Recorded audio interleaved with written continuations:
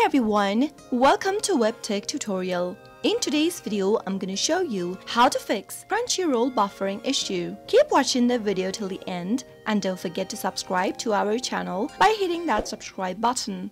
Also, press the notification bell icon so that you'll never miss another update from us. If you're trying to stream your favorite anime or shows with Crunchyroll but you are not being able to do so since your Crunchyroll video keeps buffering, then the first thing to do is to check if you are connected to your Wi-Fi or not. Try switching between Wi-Fi or your cellular data and find the best internet speed for streaming videos on Crunchyroll. Once you've got a secure connection, Tap open your Crunchyroll app one more time and see if that fixes your issue. If that does not work, then the next thing to do is to go to your Play Store. In the search box, search for Crunchyroll and check if your app is up to date to the latest version. If you see an open button popping up right next to the app, that means your application is up to date. But if you see an update button popping right next to it, then it means you'll need to download the latest version of the application. Simply tap on the update button and get the latest version. Now, once you update your app, go to your Crunchyroll application and see if that fixes your issue. If that still does not work, the next thing you can do is to go to your settings and under settings, select apps. This page shows you all of the applications that are installed on your Android device.